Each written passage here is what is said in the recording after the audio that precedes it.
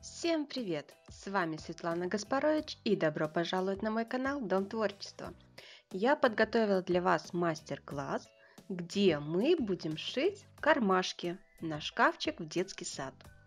Получилось много отделов, карманов для хранения вещей и еще есть специальные шлевки, на которые можно поместить резинки, заколки, обручи для волос – но сейчас я не буду показывать и рассказывать, как шить органайзер. Это вы подробно увидите в следующем моем видеоуроке. А сейчас я хочу показать, как сделать аппликацию из фетра. Именно так мы будем украшать наши кармашки в следующем мастер-классе. На одной заготовке я уже сделала аппликацию. На изнанке все нитки срезала, чтобы было чисто, но перед этим завязала узелки, чтобы строчки наши не разошлись. Перед тем, как делать аппликацию, я распечатала буквы, из которых состоит имя ребенка, и вырезала их из фетра. Теперь, чтобы закрепить эти буквы на ткани, я возьму клеевой пистолет и приклею их чуть-чуть, чтобы они не двигались не переусердствуйте. Буквально несколько капель. Если такого приспособления у вас нет, можно взять и наметать их с помощью иголки и нитки.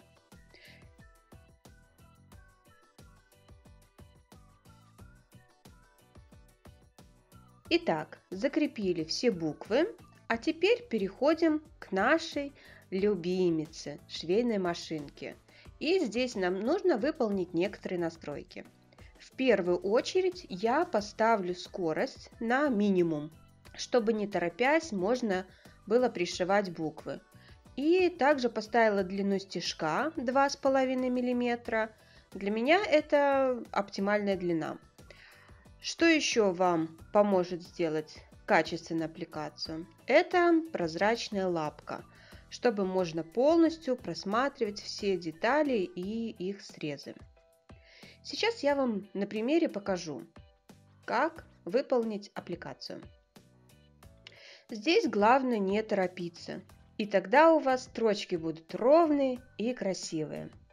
Строчку прокладываем близко к срезу на расстоянии 1-2 мм.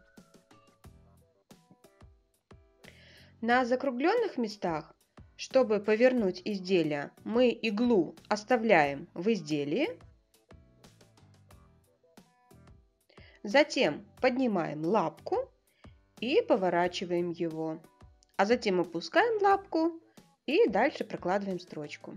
Никуда не спешите. И так вот медленно, строчка за строчкой мы пришиваем буквы.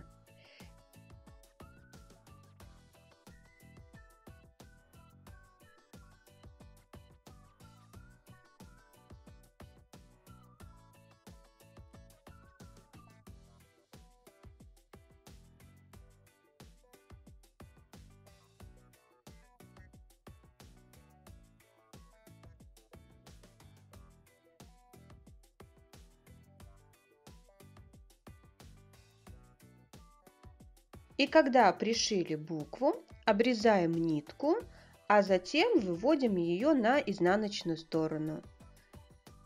Делаю узелок и только после этого обрезаю ее. Вот и готова буква. От того, что мы не торопились, у нас получилась идеально ровная строчка. Точно так же мы будем пришивать остальные наши буквы. Что касается аппликаций чуть посложнее, здесь в принципе такой же смысл.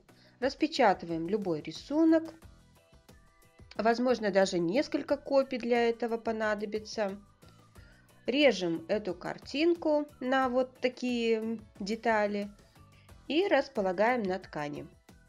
Крылья и лапки я располагаю под туловищем. Дальше укладываю пузико, глазки и приклеиваем их на клей. А дальше пришиваем точно так же, как мы пришивали буквы. Медленно, поднимая лапку, чтобы повернуть изделие. Сначала я пришью лапки, крылышки, затем туловище, пузико, глазки.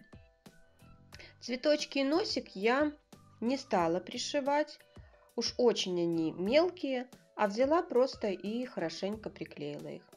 Вот и готова наша красота. Сложного здесь ничего нет, главное иметь терпение, время, чтобы это делать и, конечно же, желание.